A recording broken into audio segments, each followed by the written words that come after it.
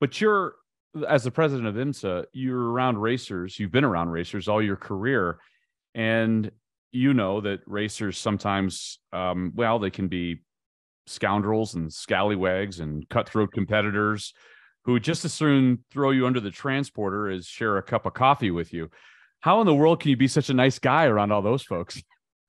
Well, uh, first of all, yeah, they they uh, they all have opinions, that's for sure. Um, and uh, it comes in in a lot of fashions, whether it's a in race uh, ruling or BOP before or after a race. There's there's a lot of things for that. But I think, um, and we have a saying here, eh, which I have come to to know and love, and I think it carries back. We didn't necessarily say it in my previous life on the OEM side, but you know the market will speak, and um, you, we we want to do what's right for for the audience, for the the sport to grow uh, so we'll take and have open ears at all times.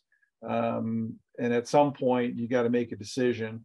Um, so it's absolutely uh, great for people to share their ideas and thoughts, but the, the, in the end, the market will speak. And as we've developed rules and, and new classes and these new cars that we're going to launch this weekend, um, you know, the market spoke, the OEMs made commitments, the the engine builders uh, made commitments, uh, the hybrid powertrain partners made commitments. So in the end, um, certainly hear everybody out, um, but uh, you know at, at, some point we need to make the best decision for the sport and for the growth of the sport.